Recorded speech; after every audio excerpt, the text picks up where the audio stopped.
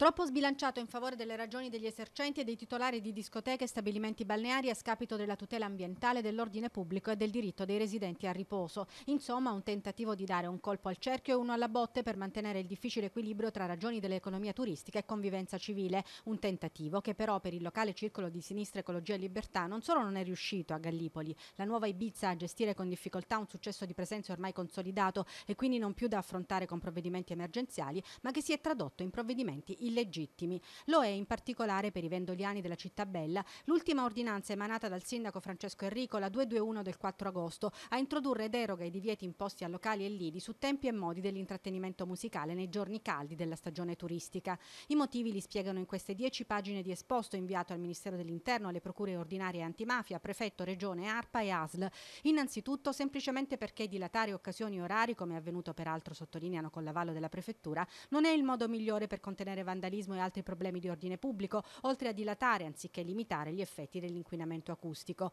Poi perché non terrebbe minimamente conto proprio della normativa nazionale e regionale a cui fa esplicito riferimento in premessa e non farebbe invece alcun riferimento alle norme di tutela ambientale vigenti nelle zone in cui sorgono molti dei locali beneficiati dalle deroghe. Per sé ce n'è abbastanza per chiedere di valutare se nel confezionare l'ordinanza si siano compiuti atti o ci siano omissioni penalmente rilevanti.